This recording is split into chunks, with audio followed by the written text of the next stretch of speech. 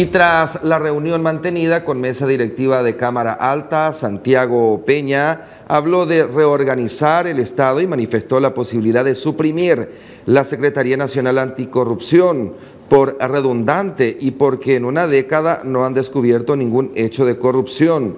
Por su parte, el ex titular de la CENAC, René Fernández, manifestó su preocupación tras el anuncio de Santiago Peña, ya que ningún gobierno puede dejar de controlar y prevenir los casos de corrupción.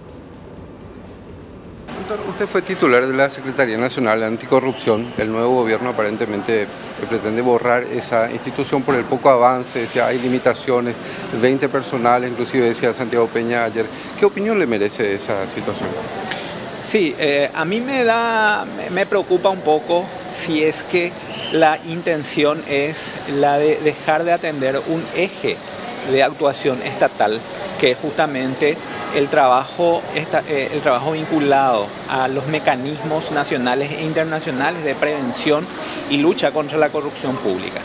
Más allá de la denominación de la institución y más allá de la eh, este, de la identificación presupuestaria de una institución, el, problema que tiene el Paraguay en cuanto a, todos los mecanismos de prevención y también de investigación y control de la corrupción es gravísimo.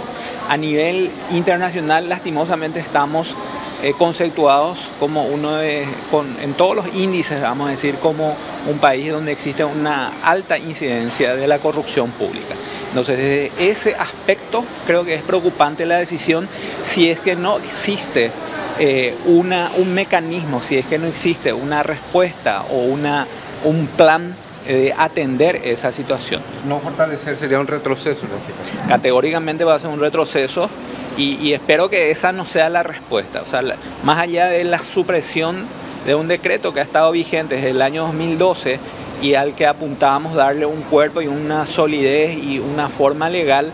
Eh, la, supresión de un decreto que, creaba la CENAC eh, es una facultad de la Presidencia de la República, pero creo que lo que no puede dejar de atenderse es esa área de actuación estatal.